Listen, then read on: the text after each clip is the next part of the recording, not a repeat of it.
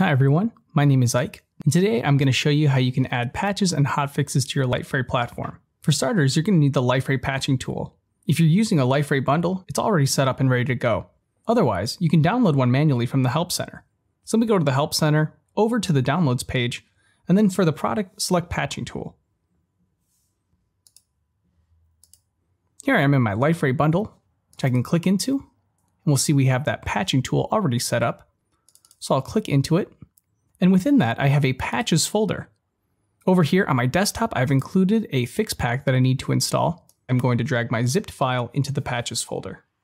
And now we need to tell the patching tool to go ahead and process this fix pack. So I'll go into my command line, and I will type cd, as well as the location of the patching tool.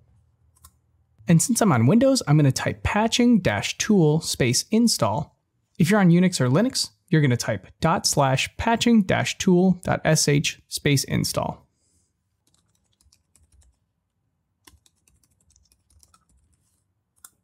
It's also important to make sure that you are not running Liferay while this is happening.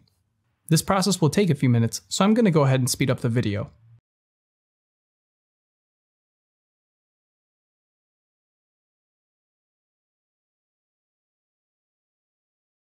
And we see here that the installation was successful, as one patch has been installed to the system.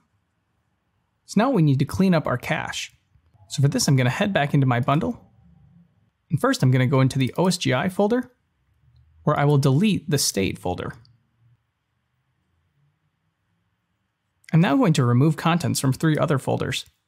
Back in the Liferay home folder, I will empty all the contents from the work folder,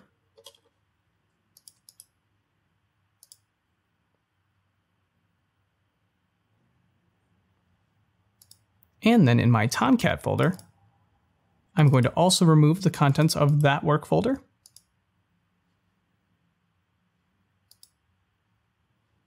as well as the contents of the temp folder, which is already empty. Once that's all taken care of, I can start up Liferay and those patches will have been installed. Looking for more information on this topic or others? Check out our links in the description. Don't forget to like, comment, subscribe, and hit the bell for notifications. Thanks for watching.